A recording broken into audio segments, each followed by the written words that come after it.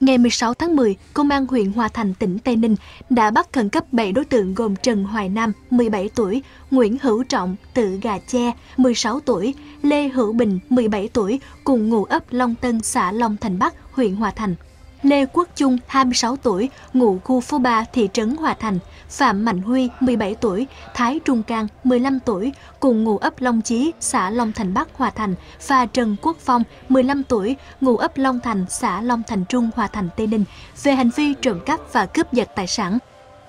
Theo cơ quan công an, nhóm thanh thiếu niên tuổi teen này thường xuyên tụ tập gây ra hàng loạt vụ trộm cắp và cướp giật tài sản. Phương thức thủ đoạn hoạt động của nhóm đối tượng này là lợi dụng ban đêm khi người dân đã ngủ say để cậy cửa đột nhập vào nhà trộm cắp tài sản hoặc sử dụng xe mô tô phân khối lớn kè theo người đi đường để cướp giật tài sản.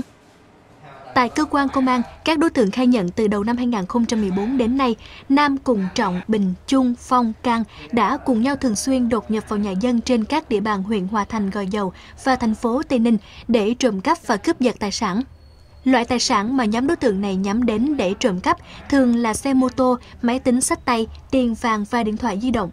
Các đối tượng khai nhận đã thực hiện 8 vụ trộm cắp tài sản và một vụ cướp giật tài sản của người đi đường.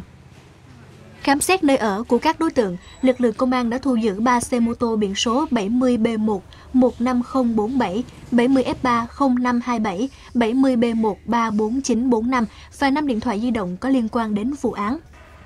Liên quan đến nhóm tuổi teen này, lực lượng công an cũng đã mời một số đối tượng tuổi teen khác có liên quan, trong đó có đối tượng chỉ mới 12 tuổi.